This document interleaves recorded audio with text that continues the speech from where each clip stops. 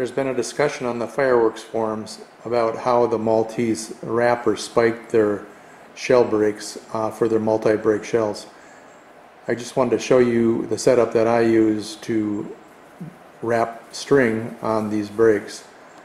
Uh, of course, you first you start out with uh, preferably four rolls of the uh, jute string that they use. It's a real thin string. And uh, what I do is have my rolls of string on the floor then I bring them up and through a little divider that keeps the strings separated.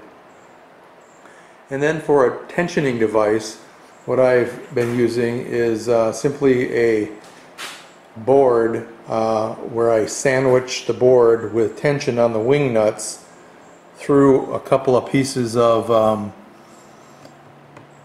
cardboard just a, a thin tagboard uh, type cardboard that you can see. And it is sandwiched between the two of them and then again I use the wing nuts to provide tension to the um, board to get the right tension on the string.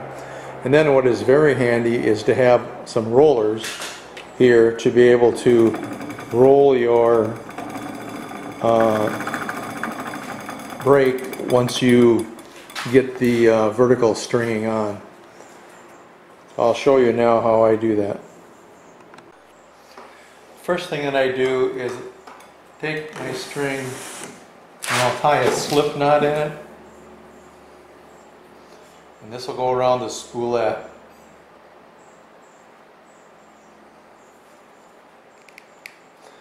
I like to add a little hide glue around the spoolette that kind of helps the string stick better and also provides just a little bit of fireproofing.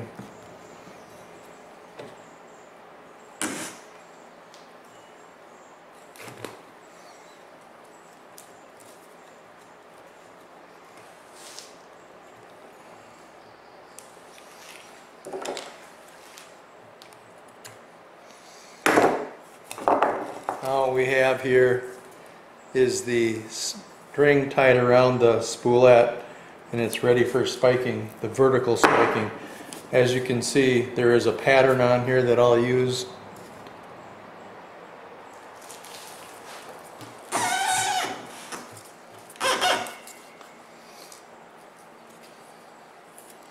So the first thing is to bring your string across and lock it in good. Now I put some tar around here, which was an idea that, that Tom Dimock uh, came up with, and that does help to hold the string so it doesn't split. So I would recommend that.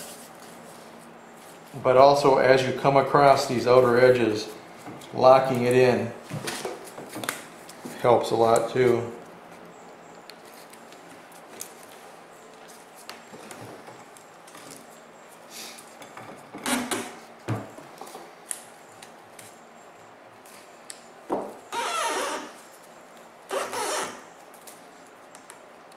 You get all four of them locked in, then you can come across easily.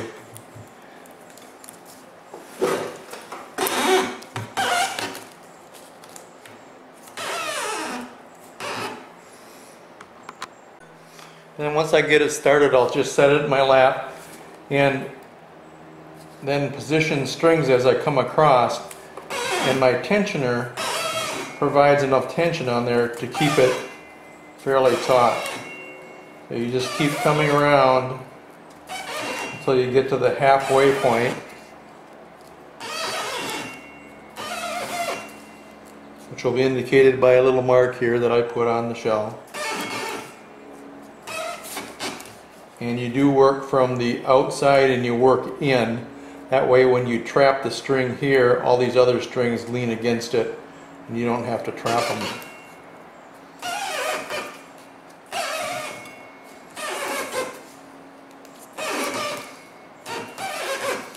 Just use your hand to position the strings.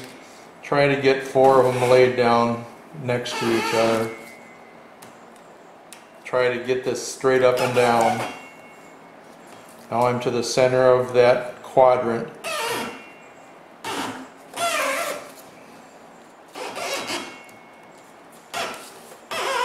Come around over to the other side now. And again, lock it in. Come up. Make sure it's straight. Lock it in.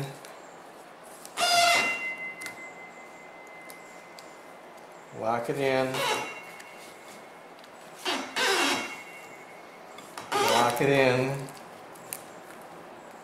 And then continue filling the rest of that quadrant.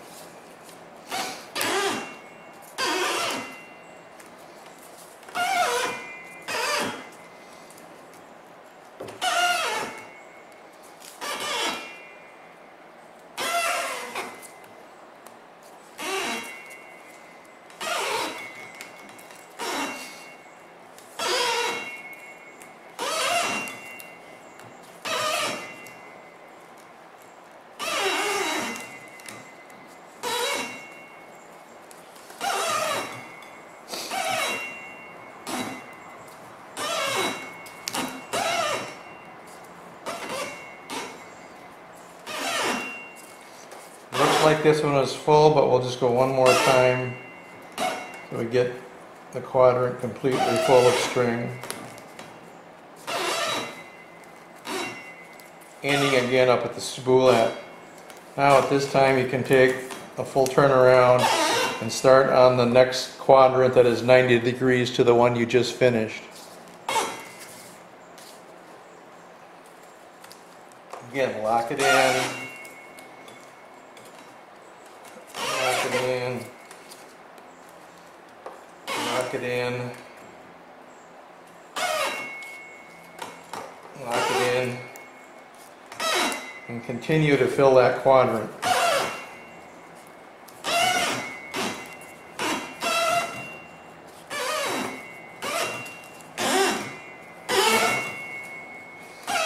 You can hear the string squeaking as it's coming through that cardboard, which provides my tension.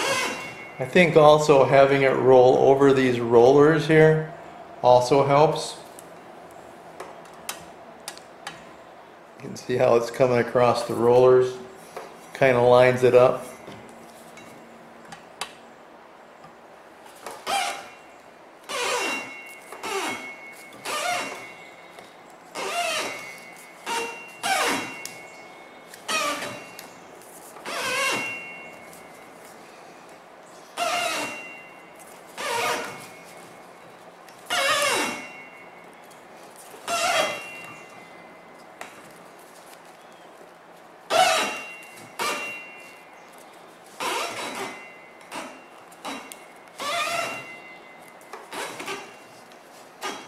Again, once you get to the middle of the quadrant,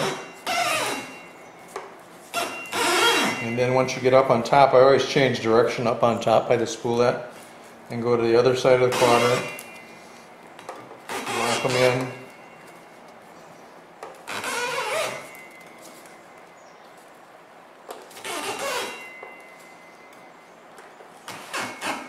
And then continue to fill that quadrant.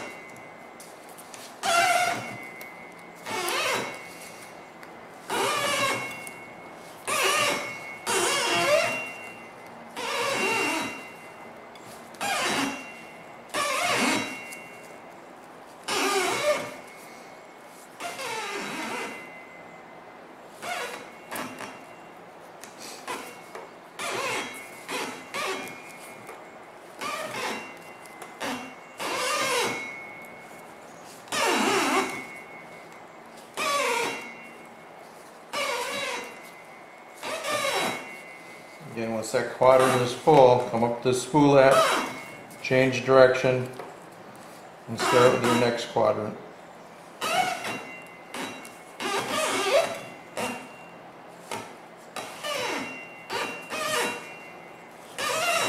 Now this time, we don't have to lock it in because we're coming up against the already locked in string.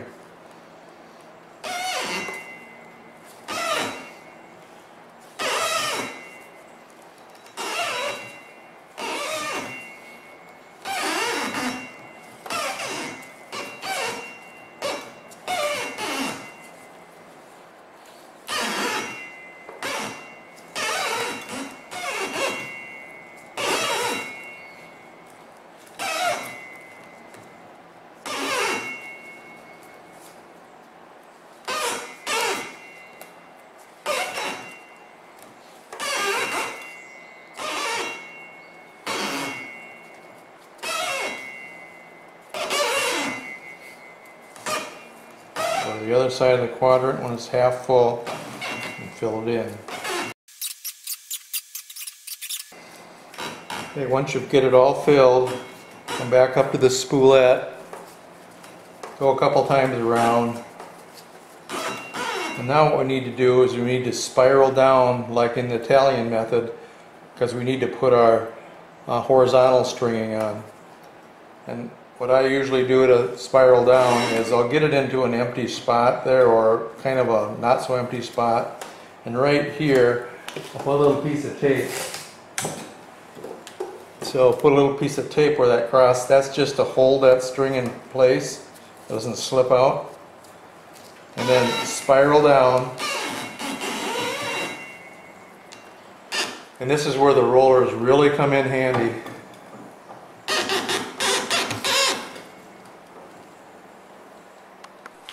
Okay, once you've spiraled down on there and you've started to come around uh, with your string, set it on the rollers, and then with the rollers, you can rotate the shell, laying the string next to next to each other, laying the strings next to each other.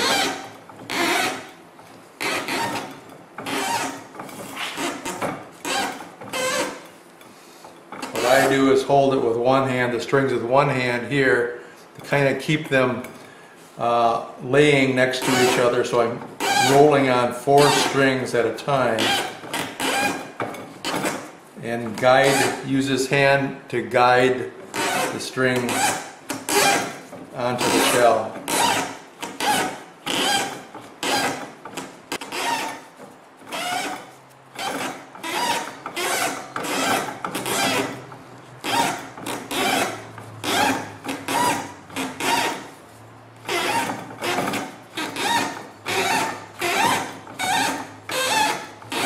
Again, the tensioner is providing tension as I'm putting the string on. All this hand here is doing is guiding the string. Every now and then you have to maybe push it in a little bit with this thumb here.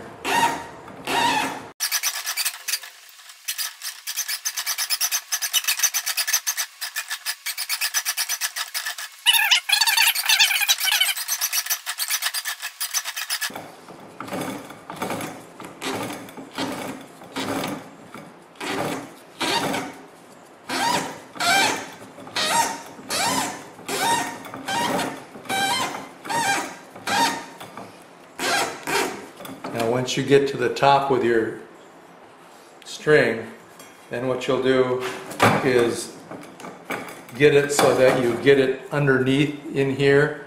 So you'll, I actually take kind of like a uh, bamboo skewer, lift, lift this up here, and then I can get the string through there.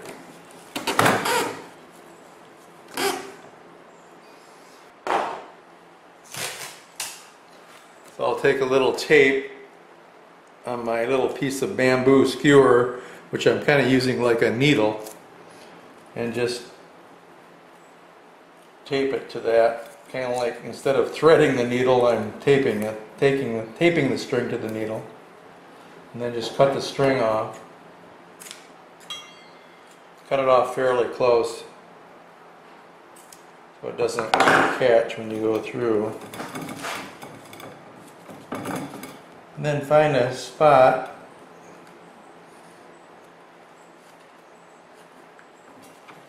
like this where you can thread it through. And then what you'll do is simply pull that down to the side here. That tightens it on for you. So you can see right here it's gone through the string coming, the vertical, vertical string's coming down, and it just traps that. So then you just simply cut it off. I like to put a little glue on there so it doesn't come loose.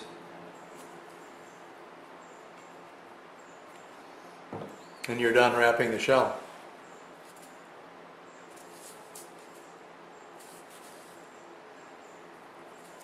That's how, that's how it's done.